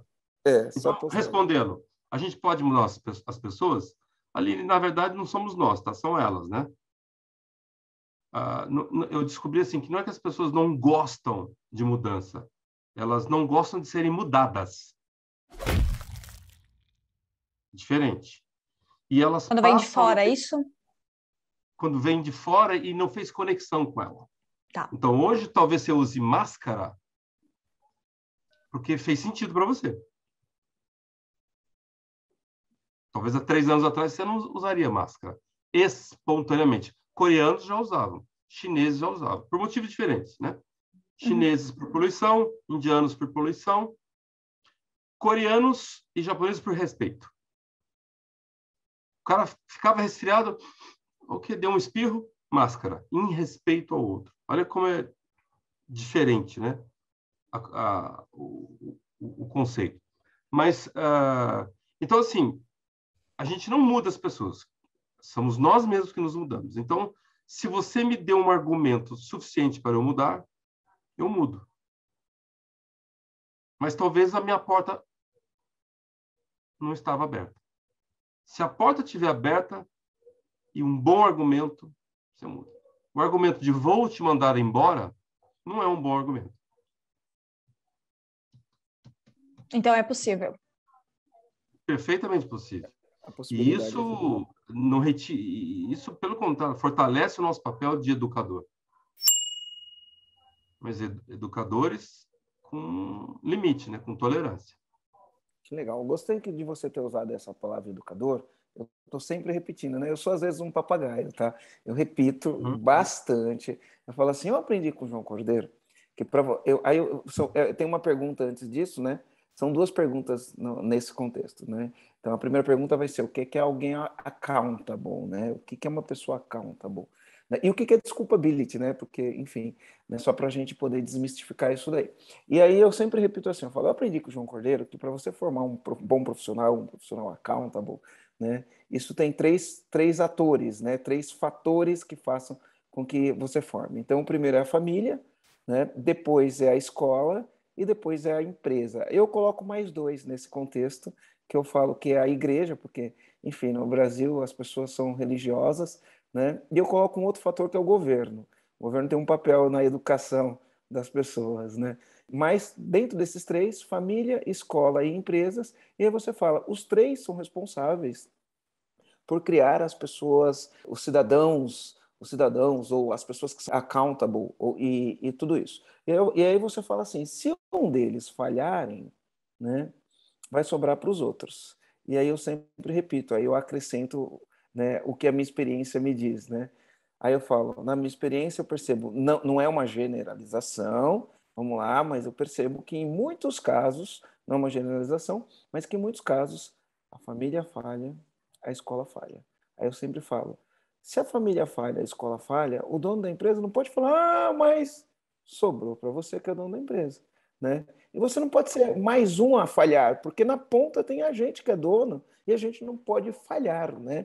E um dono de empresa que sabe que ele não pode falhar, então, primeira pergunta, né? o que, é uma pessoa accountable? Né? E sabendo que isso depende de educação, e o dono da empresa sabendo que ele não pode falhar, né? que, que ele pode começar a fazer alguma coisa assim prática para melhorar esse requisito e para ajudar a desenvolver pessoas e principalmente trazer os resultados que as empresas precisam. Bom, uh, eu vou Aline, anota bem aí, não, não deixa eu esquecer a pergunta, tá? Eu só quero fazer dois comentários antes que eu achei interessante. Quando você falou de, ah, eu, eu, eu sou um papagaio, eu, eu copio, né, e fala, ah, eu aprendi com o João Cordeiro, eu aprendi com fulano, primeiro lugar, isso é um valor, né? É, é muito, é muito importante. Eu, eu tive um cliente de, do, do mercado de automóveis que ele contou que ele foi visitar uma grande fábrica no Japão. Ele foi com um grupo de concessionários, foram lá para o Japão. E ele notou que nas mesas de todo mundo tinha um, um, um, um totemzinho com três frases, três, sabe, escrito em kanji, né, em, em japonês. E ele pediu para o tradutor traduzir para ele esses três pensamentos. E sabe qual era? Olha que interessante. Primeiro, copiar para aprender. Segundo, aprender para competir. Terceiro, competir para vencer. A fábrica era a Toyota.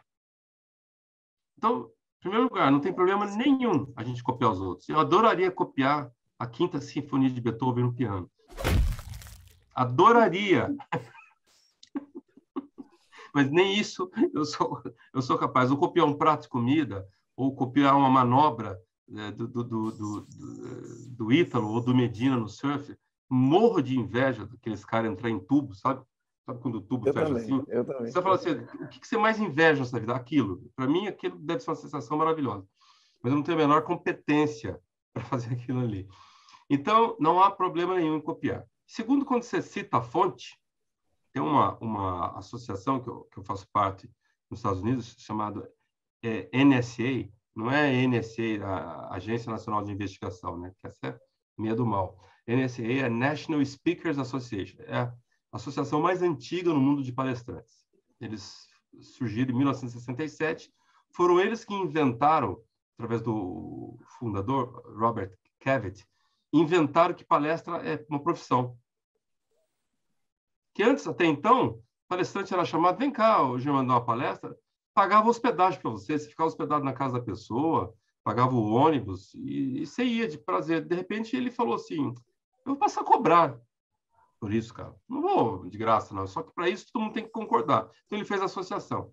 E eles têm uma série de critérios maravilhosos, é, e um deles que eles, uh, que eles repetem sempre é uh, who never quoted never will be quoted. Assim, aquele que nunca cita alguém jamais será citado. Né? Aquele que não faz referência a alguém nunca será usado como referência. Que é exatamente você não se apropriar do conceito. Então, eu posso pegar suas falas, posso pegar seu pensamento e falar: olha, eu aprendi com o Germano. Eu aprendi com a Aline. É maravilhoso isso. Não tem nenhum problema. É, nos meus livros, eu faço questão de citar as fontes. Eu, eu, é, eu chego a perder talvez 20% a 30% do tempo para escrever só para atrás das fontes. Uh, e não pegar nada que é aquilo que não me pertence. Eu não preciso me apoderar daquilo que não, não é meu. Então, agora vamos na tua pergunta, né? Que é... Vamos lá. Como vive uma pessoa que account... É, desculpa, primeiro, que desculpa, é o Billy, que a gente não do, falou. O conceito do É. accountability, né? E então o contexto é o conceito do accountability e um dono de uma empresa sabendo que a escola falhou, que os pais Ah, é. falharam, que a Isso. igreja falhou, que o governo falhou, caiu no colo dele e ele tem que resolver a O parada. que ele vai fazer? É. Bom, uh, accountability não tem tradução direta para português. Algumas palavras têm, outras não têm. Alguns nomes têm, você traduz Maria por Mary, eh, Mary por Maria, eh, John por João, Peter por, por Pedro. Mas, por exemplo, ah, você não traduz William, que William é Guilherme em inglês. Você não traduz James. James é Tiago. Se a gente tivesse um agente secreto do governo brasileiro, ele se chamar Tiago Bond. Então, ah, nem nomes você traduz, todos. Né? Ah, açaí, eles pronunciam acai, jabuticaba não tem tradução, porque jabuticaba só existe em um lugar no mundo que se chama Brasil. E saudade Muito menos conceitos. Saudades, né? Saudades não Fora traduz, saudade. É, saudade Isso, é não uma se traduz em de- inglês. é. Exatamente. Bem lembrado. Então, fora conceitos de marketing, né? De, de- de conceitos corporativos, como marketing, feedback, EBITDA, coaching, você adota, coloca no vo- vocabulário. Teve gente que me perguntou assim, "Mo, a gente não está estragando o vocabulário português? Eu fui perguntar para um cara mestrado em linguística, doutorado em linguística, o Vitor.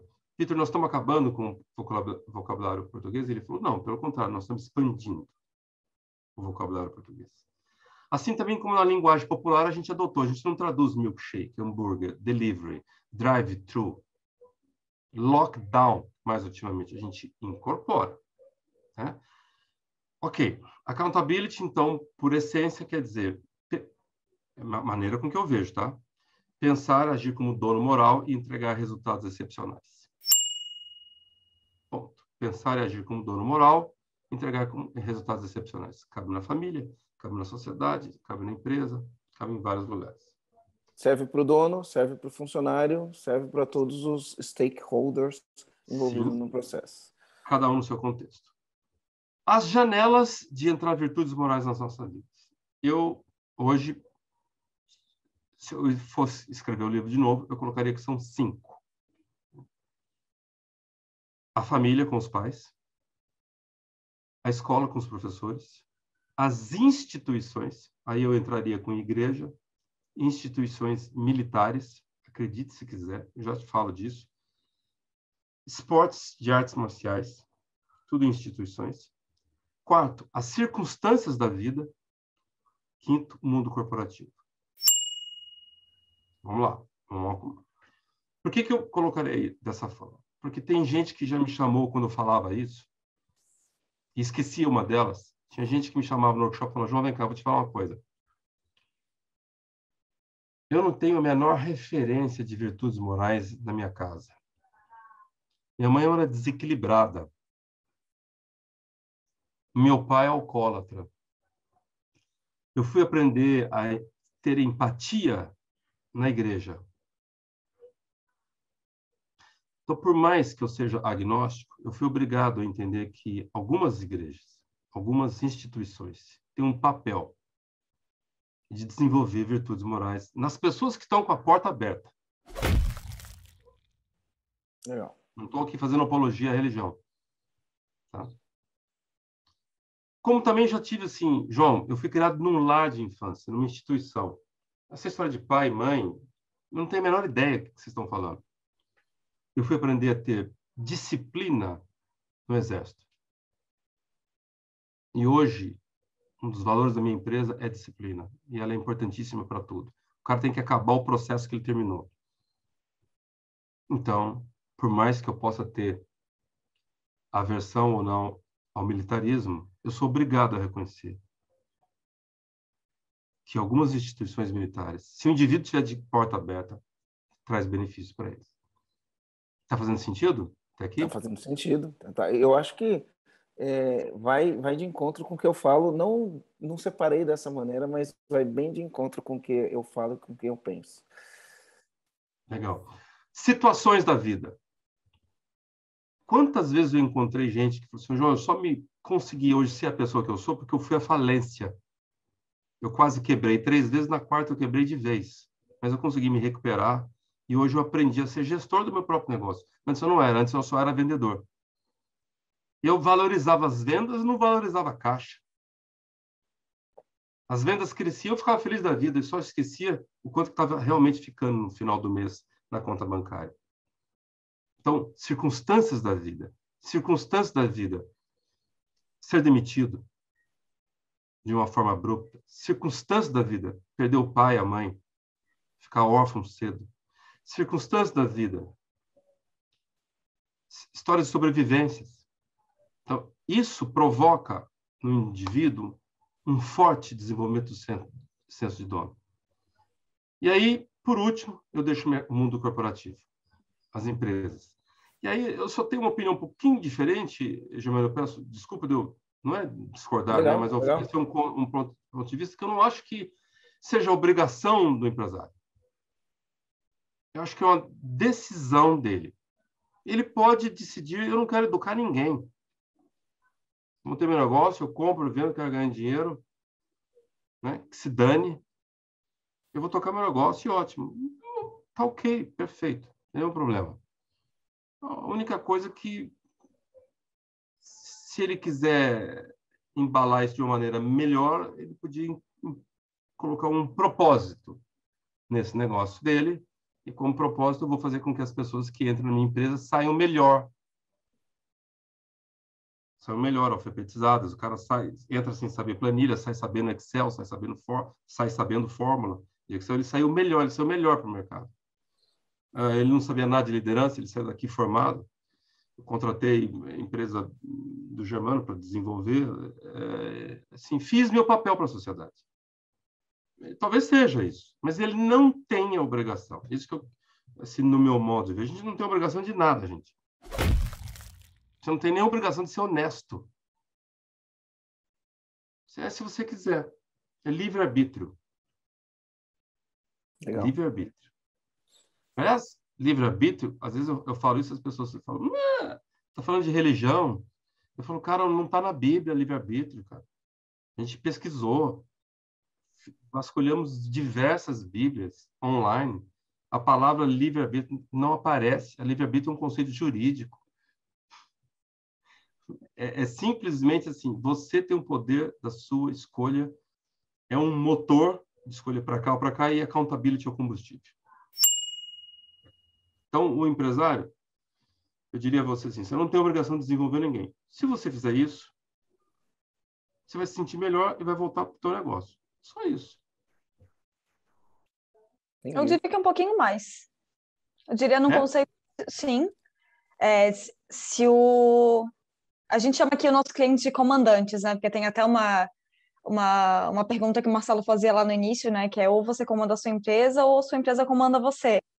E aí, dessa Verdade. metáforazinha ali que o Marcelo criou, a gente criou os comandantes, né? Então, assim, Boa. eu acredito que hoje, se o comandante da empresa ele escolhe essa segunda opção, que é eu vou escolher desenvolver as pessoas, né? Eu vou escolher botar um propósito aqui, vou escolher deixar as pessoas entrarem aqui na empresa e saírem melhor, se for o caso, sair ou permanecerem evoluindo aqui dentro, escolherem permanecer. Eu acredito que tem um impacto é, de sociedade mesmo, né? Porque imagina, essa pessoa ela veio aqui para a empresa, uma única pessoa, ela veio aqui para a empresa. Eu consigo me citar de exemplo, mas eu não quero me citar de exemplo aqui nesse momento, mas eu consigo tranquilamente com a minha família. Eu venho para a empresa, eu, Aline, uma única pessoa, eu vim aqui para dentro do IAG e comecei a aprender coisas. Quando eu vou para casa, o meu comportamento ele muda. Uhum. Impactei meu pai e minha mãe uhum. na época que eu morava com os meus pais, por, é, por exemplo. Então, ali, impactei meu pai e minha mãe, e meu sobrinho que tá junto comigo ainda morando na mesma casa. De impactei tabela. eles. Por tabela, que tá ali junto no mesmo convívio. E aí, por algum motivo, é meu, meus, meus atos, as coisas que eu tô fazendo, eu vou educando também as pessoas que estão ao redor. Aconte a minha mãe começa a mudar de comportamento. Aí ela começa a mudar o jeito que ela pensa, ela começa a mudar as coisas, ela começa a evoluir. Um exemplo, minha mãe acabou se matriculando numa faculdade com 52 anos, pela primeira Nossa, vez. Que legal! Do nada, aconteceu, assim, não forcei nada, só fui exemplos vão acontecendo, mas assim. E aí a minha mãe deu um exemplo pro meu sobrinho também. Imagina, a avó dele, com 52 anos, vai se matricular. Meu sobrinho hoje tem, 40, tem, tem 14 anos. Então, assim, o, o, exemplo, eu acho que é o impacto que se o dono da empresa, o dono, só o dono, ele escolheu, vai impactar meus funcionários. Eu tenho um único funcionário, eu transformei a vida desse funcionário. Esse funcionário vai voltar em casa e vai ter um impacto. Pode ser com o esposo, pode ser com os filhos, pode ser com quem for. O esposo ou a esposa. Mas tem um impacto de sociedade mesmo. Né? É, tu escolheu uma única pessoa, mas essa única pessoa ela vai impactar numa cadeia que você não tem nem noção de como que ela vai impactar. Mas vai impactar às vezes até o jeito que ela vai se comportar com o motorista do ônibus que ela vai pegar e vai subir no ônibus, sabe? Então eu acho que por mais que pareça que é só uma única pessoa, no final das contas é uma cadeia muito grande e é o que eu enxergo assim. Você está certíssima, Aline, e, e assim e, veja assim o poder de influência que nós temos, né? Exato. É, a gente tem assim no trânsito é, é, é uma parar o carro, deixar o pedestre passar mesmo que o carro de trás buzine te xingando, alguém viu, você influenciou alguém, às vezes o próprio pedestre. É, você não resolveu a vida daquele pedestre, mas aquele momento para ele ficou melhor. Né? Ele sabia que ele está atravessando de uma maneira segura. Então, a gente tem poder de influenciar muita gente à nossa volta. Imagina uma celebridade, né? É, artística, esportiva, política e o, e o desperdício, né? Quando a gente vê a chance deles influenciarem positivamente e eles não fazem isso. É verdade. É Quer verdade. dizer, não todos, né? alguns.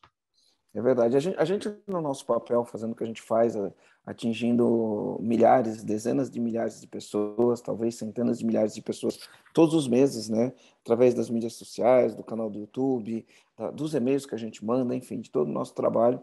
Eu acho que a gente tem um, um, potencial de fazer isso e aí a gente acaba tendo uma responsabilidade muito grande, né? Então a gente vem, vem, vem, vem trazendo esse, é, esse tema de valores, esse tema de responsabilidade, a gente é, dentro do contexto do que a gente faz, a gente procura divulgar, né, expandir essa mensagem. E aí tem uma coisa interessante, quando a gente fala de cultura, né, porque tudo isso, no fim das contas, impacta na cultura da sociedade, impacta em como as pessoas é, se relacionam entre si, impacta no resultado, como, como empresa, como país, como nação, tudo isso impacta no resultado, né? E uma coisa que a gente sempre faz, porque a gente, a gente trabalha muito, muito, muito, muito a questão do pilar cultura organizacional, e, e aí você traz um contexto, né? A cultura, a filosofia corporativa é barato, cultura corporativa é caro e a cultura corporativa consolidada é, é, é valiosa, né? Você traz esse, esse, esse, conceito e aí depois, num, num, determinado momento, você fala assim, quanto tempo demora, né? Você fala 10 anos, né? 10 anos para implementar, pode demorar até 10 anos para implementar uma cultura de accountability na empresa. Mas você faz ali uma observação, né? Desses 10 anos. Ele fala: se você tiver coragem de tirar os Homers, né, Simpsons, do que estão impregnados com a desculpability, talvez você consiga em três. Né? Talvez você Sim. consiga em três.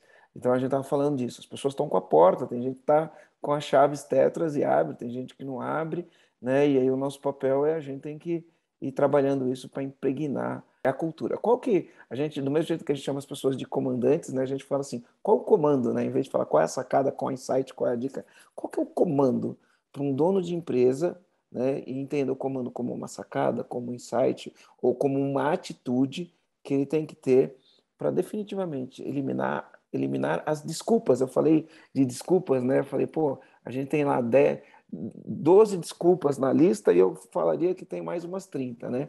Ah, eu não sabia, eu não vi, eu não fui avisado, já estava assim quando eu cheguei. já deu meu horário.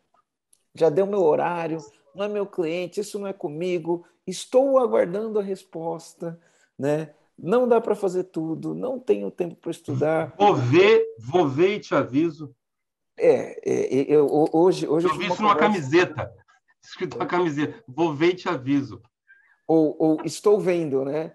Né, ou estou vendo, são as desculpas. Ou como que está tal coisa, como está tal projeto? Estou vendo, né? O que significa nada, né? Se eu estou vendo, ninguém está fazendo, né?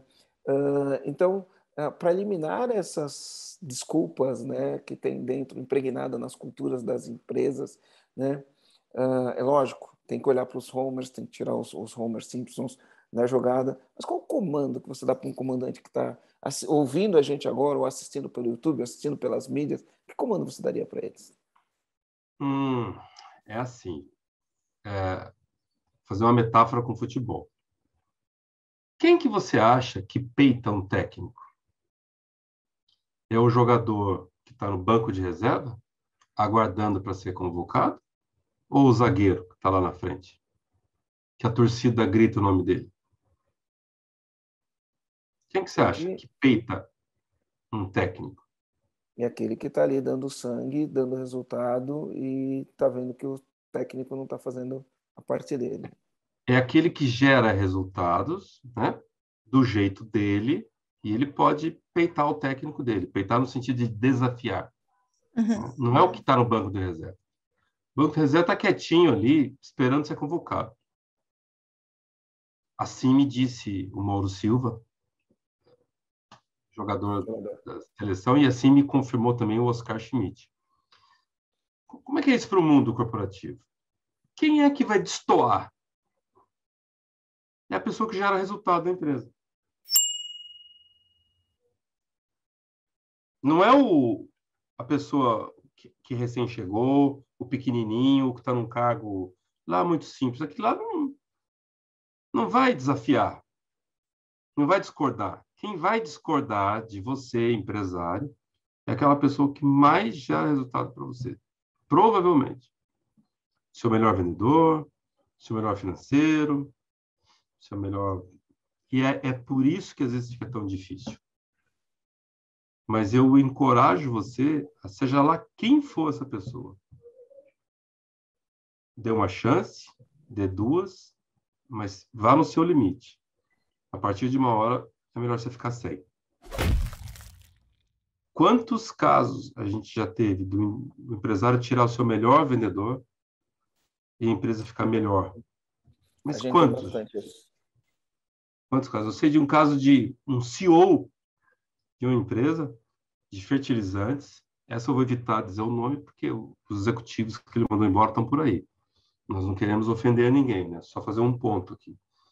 Ele tinha uma resistência enorme do diretor comercial, do diretor financeiro uh, e de mais 11 pessoas abaixo desses dois. Até que um dia que ele topou peitar e foi todo mundo embora. Sendo que ele estava tirando a área comercial inteira embora.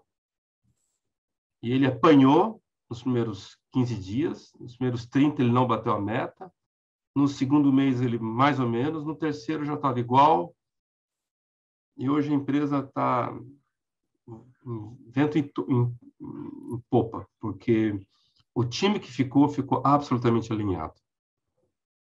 Então, ser comandante, não tem como eu ser comandante se eu abrir mão da virtude moral coragem. Uh -uh. Não tem. Eu querer que as pessoas mudem só com uma palavra, só com um feedback. Hum, mas precisa ser muito poderoso, hein, cara? Esse feedback, para poder simplesmente encorajar as pessoas para mudar. Algumas pessoas não vão mudar nunca. Essa porta está fechada. Mas você deve bater. Ah, João, mas não é incoerente. Não, faça o seu papel, bata uma vez, bata duas, mas vá lá no seu limite. Mas se não der, é melhor ficar sem. Então, com isso, você vai reduzir o tempo.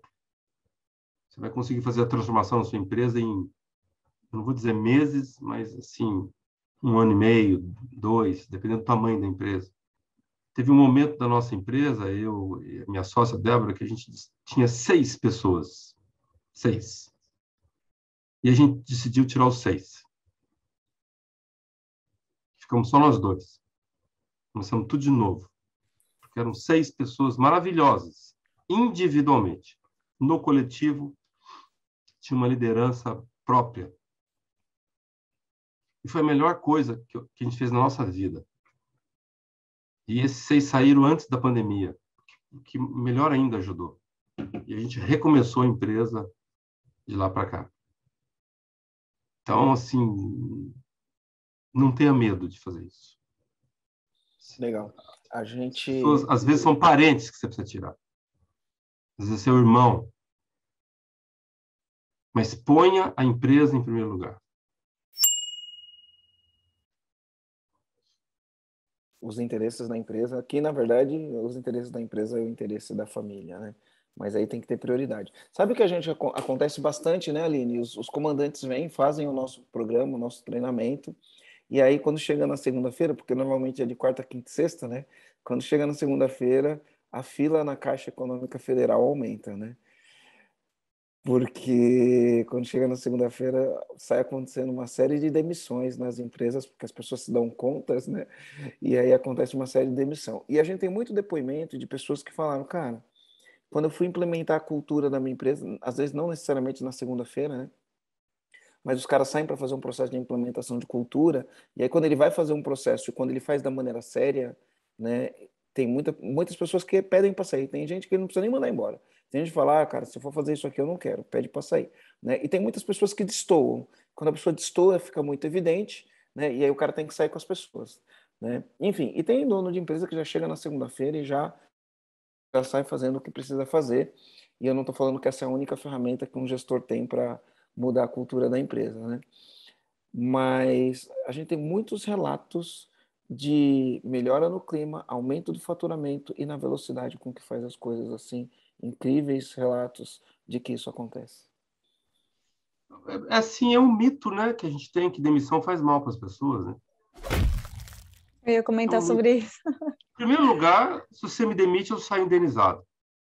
Já, já começa daí, né? O Brasil tem uma série de defeitos, mas ela tem uma legislação trabalhista que ela protege muito bem o funcionário. Então, nos Estados Unidos, o cara sai com a mão na frente e outra atrás. Mão na frente, mão atrás. Ele sai com aquela caixinha de papelão com o vasinho dele, as fotos, sabe que a gente vê em filme? Ele sai com aquilo. Zero de indenização. Zero. Acabou aqui. Então, em primeiro lugar, o cara sai com dinheiro. Ou seja, no mês seguinte, ele tem mais, ele está mais encaixado do que muito cara que está trabalhando. Segundo, quantas vezes aquilo é, o cara não faz a, a reflexão e fala, onde eu errei? Pensando bem, quer saber de uma coisa? Aprendi uma lição.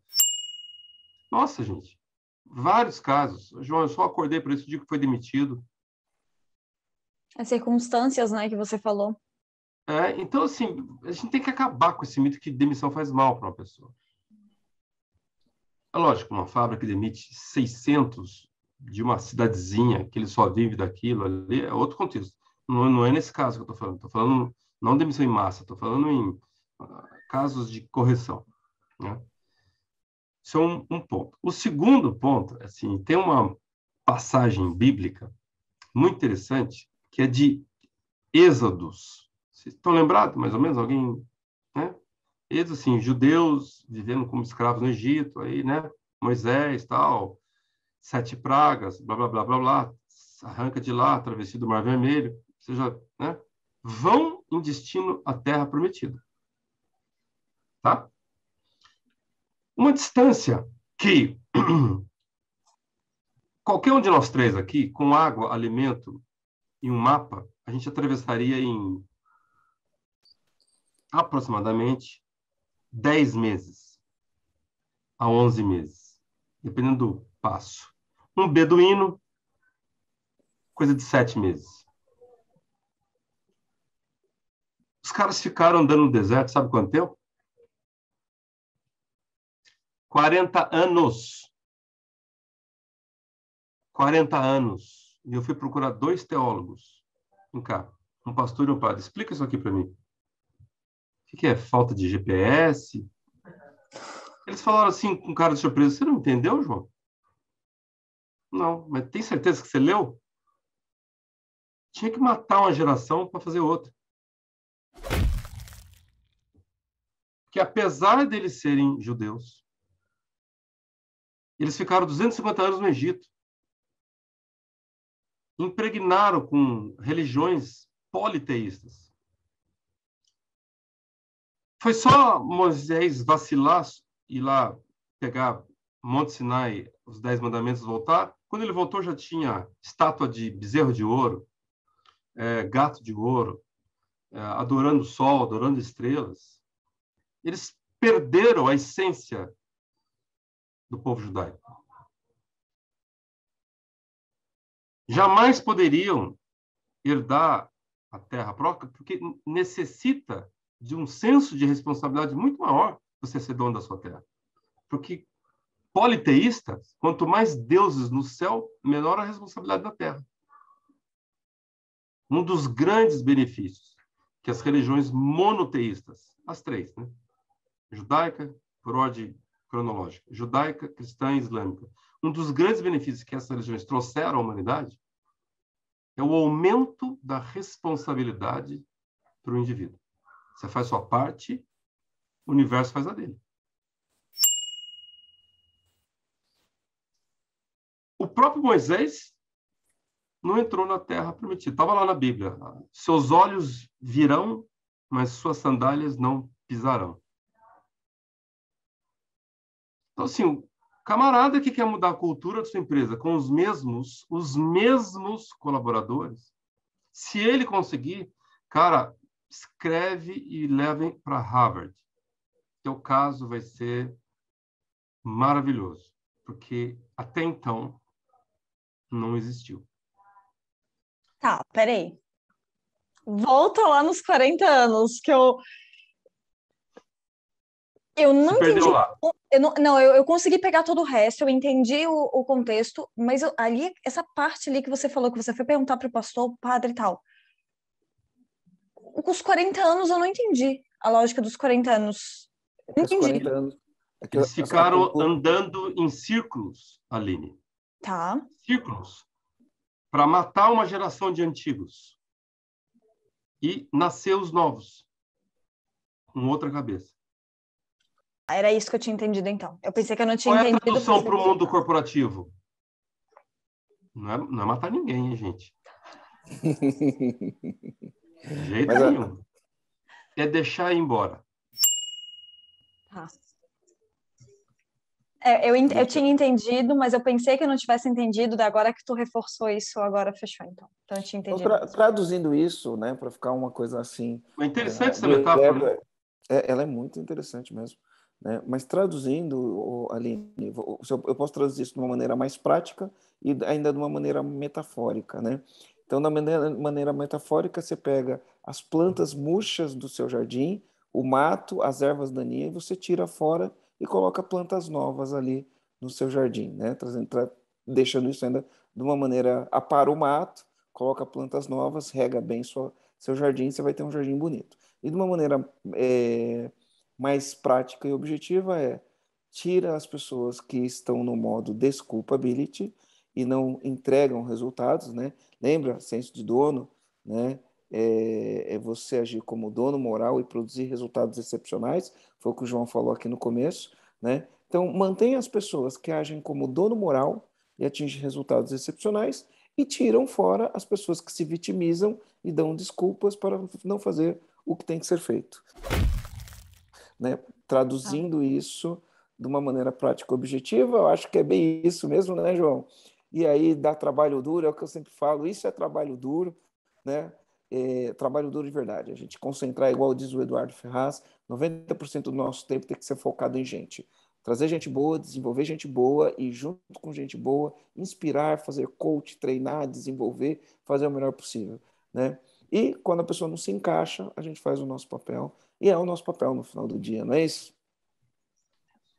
Tinha um, um, um cliente nosso, uh, muitos anos atrás, uma, uma rede de lojas de esportes, eles, eles vendiam vários artigos de esportes, de pesca, de caça, e vendiam armas. Tinha um vendedor que era o melhor vendedor da loja. Era uma rede de lojas e ele era o melhor vendedor da loja e do grupo todo. Mas a gente faz, sabia que ele fazia coisa errada. E a gente foi falando para os clientes, que eram uma família, três irmãos, três irmãos, um cunhado e o pai. E falou, olha, esse cara está inadequado. Não, você está maluco, cara. O cara é o que mais vende. Mas esse cara está inadequado. E a gente foi falando, falando, até uma hora que eles decidiram, tá bom, nós vamos mandar embora cara. Mandaram embora. O cara era responsável, para você ter uma ideia, por 70% das vendas de armas da rede toda. Mandou embora, no primeiro mês a venda despencou, segundo mês a venda, no terceiro mês a venda já voltou ao normal, quarta vez voltou tudo bem. Mas o, interessante foi o que veio do escritório de advocacia. Uns quatro meses depois, o escritório de advocacia apresentou uma conta muito menor do que ele havia apresentado, vinha apresentando, né? E eles perguntaram lá, por que, que diminuiu? Nunca havia advogado diminuir valor, diminuiu. Falou, não, só que é, é que caíram o, os problemas de porte de arma. E por que caíram? A gente lidava com muito problema de porte de arma, né? Gente que comprava armas legalmente não podia ter uma arma.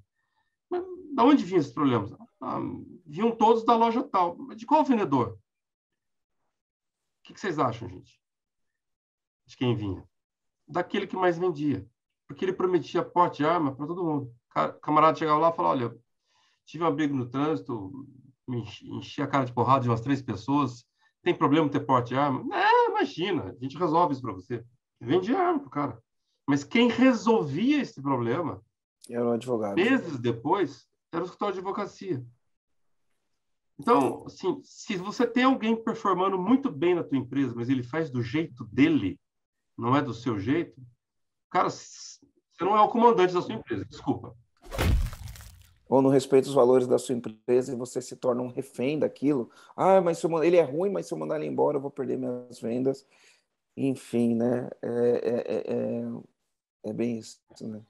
Eu acho que tem até uma frase que está no nosso código de cultura que fala assim: quando você diz não para a pessoa errada, é, para a pessoa certa, automaticamente você diz sim para a pessoa errada, né? E, a, e o, o inverso também é verdadeiro, né? O funcionário, quando ele diz sim para a empresa errada, ele também está dizendo não para a empresa certa. Isso. Eu acho que uma coisa que eu queria até trazer, que querendo ou não, liberta um pouquinho o coração na hora que a gente pensa, ah, então tem que demitir quem não está alinhado e tal, é no sentido de, cara, se você tira a pessoa que não está alinhada com a empresa, provavelmente vai se abrir as portas certas para essa pessoa.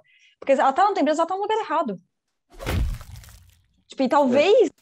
A gente tem que entender, não sei se vai ter uma empresa de lugar certo, pode ser que tenha, pode ser que não tenha, porque tem muitas questões que muitas vezes é o próprio indivíduo que precisa trabalhar isso mas querendo ou não, muitas vezes ela se comporta de uma maneira que aparentemente parece incorreta, porque ela não está alinhada com aquilo que a tua empresa está pregando, não está alinhada e com ela, aquilo que, da tua empresa. E, e muitas pessoas vão para outras empresas que são diferentes, a cultura é diferente, o ambiente é diferente, e elas vão performar em outra empresa e não performa na tua.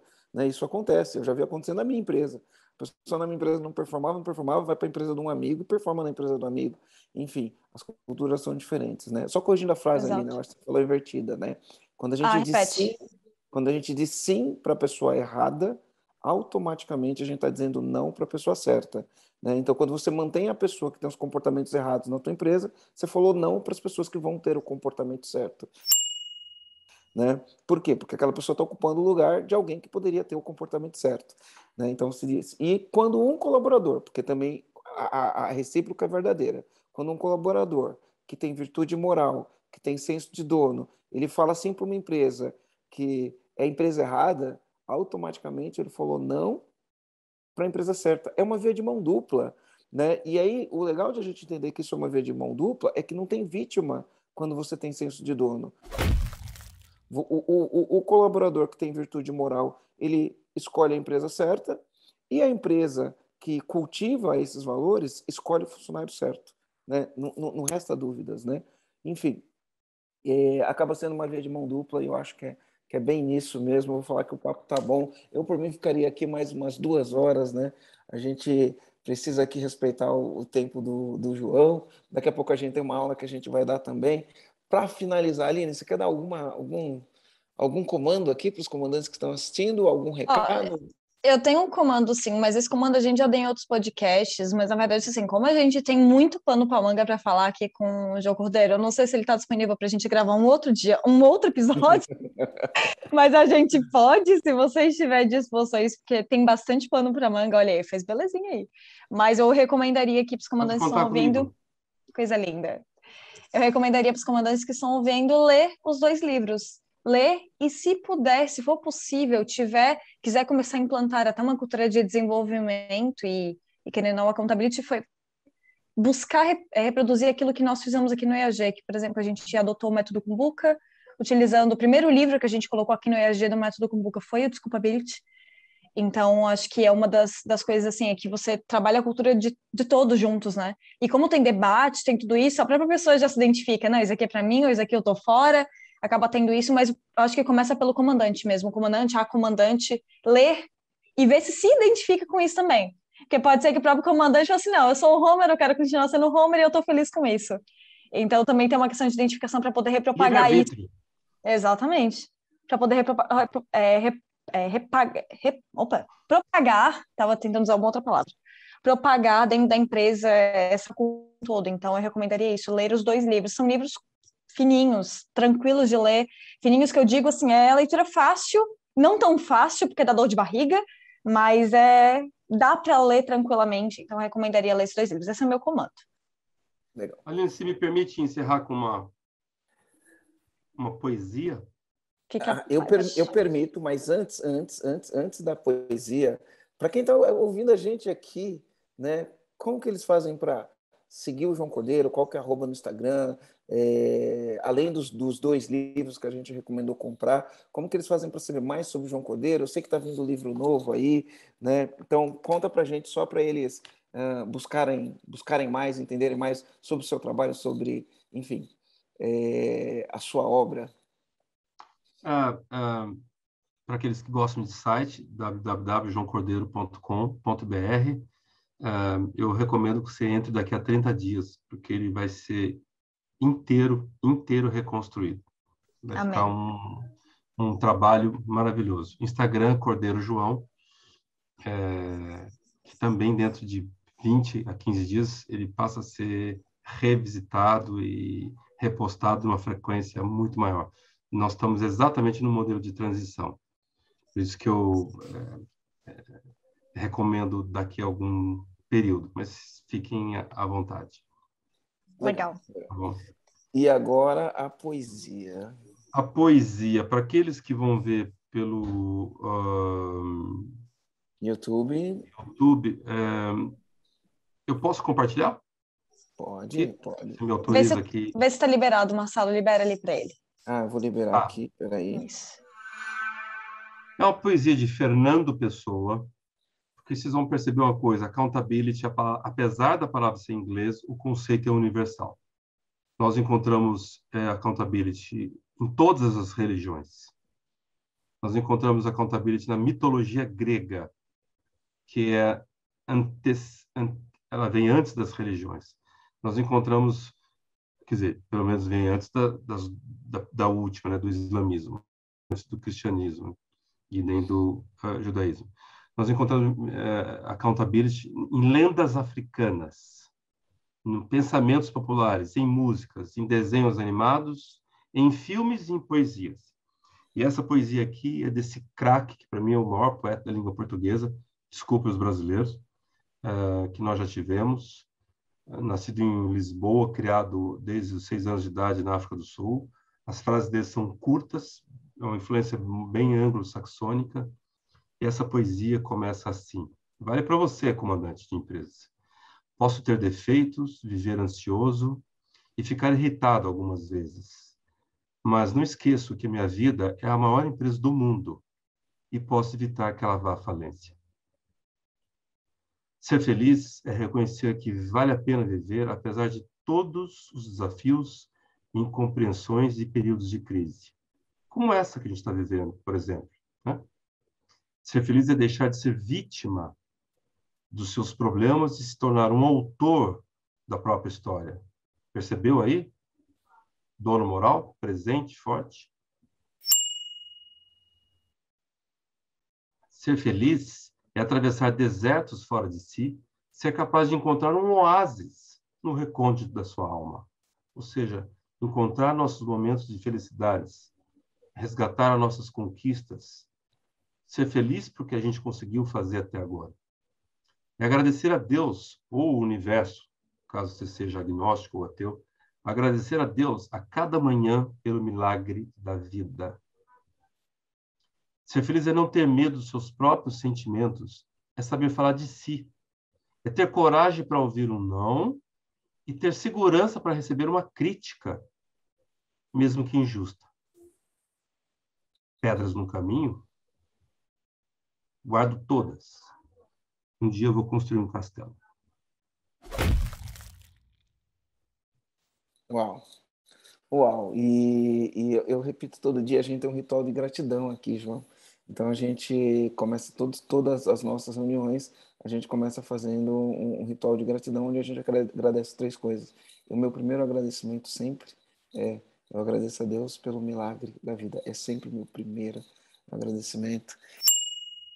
E é isso, né? Ser feliz é a gente reconhecer todos os momentos, saber que não vai ser fácil, saber que vai ter pedra, saber que a gente não tem todas as virtudes e a gente precisa desenvolver virtudes, saber que a gente falha, né? Mas a gente buscar, né?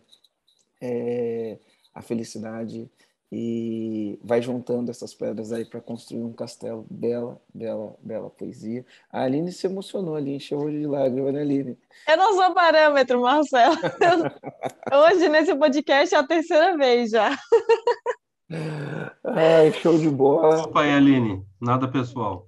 Tá tudo bem, porque eu sou dessas. Ó, o garoto tá falando para mim que já tá aqui, ó, de chorar também. Mas eu sou bem assim, eu sou, eu sou uma pessoa muito emocionada, não sei se é emocionada, pessoal, mas assim, eu, eu me emociono bastante. E eu sou muito grata por me emocionar bastante, porque eu sinto as coisas bastante, então eu sou muito feliz por isso. Vou estar aqui nesse podcast. Assim. Que bom. É que não, tá, tá, tá piorando.